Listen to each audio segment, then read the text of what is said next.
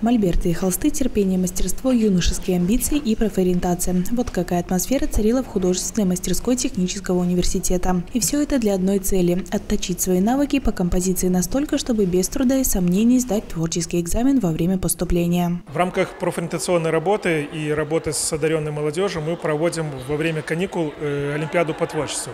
В этом мероприятии э, будущие абитуриенты нашего университета не только могут попробовать свои силы в изобразительном искусстве и тех предметах, которые им необходимы для поступления в, э, на специальность архитектурный дизайн и архитектуру.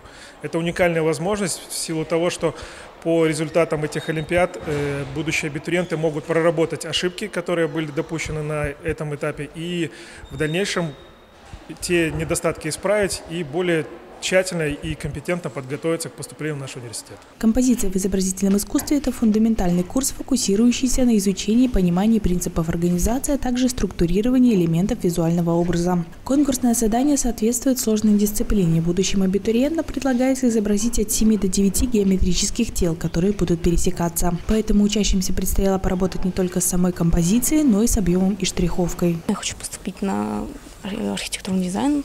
Мне очень нравится эта специальность. И как бы рисование это делаю всей моей жизни. Я с самого раннего детства рисую. Для того, чтобы это отразилось на экзаменах в положительную сторону. Ты хочешь поступать? Да. А на какую специальность? Архитектура, дизайн.